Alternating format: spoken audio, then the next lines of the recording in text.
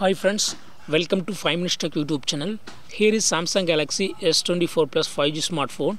In this video, you will learn how to increase or decrease app icon size in your phone Samsung Galaxy S24 Plus 5G. First of all, go to the app screen and uh, these are all the default app uh, icon size. If you would like to change app icon size, yes, you can do it.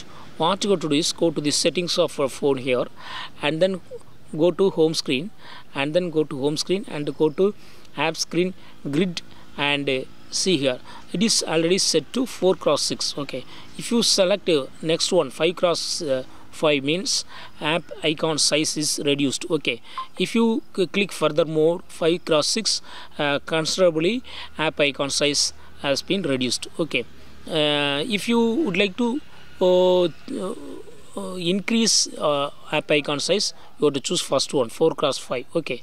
I first i keep in 5 cross 6 and click on done and see the changes in the app screen. See here app icon size is reduced okay. Uh, if you would like to set to default app screen size then uh, that is app icon size you have to choose second one and click on done and see the changes okay.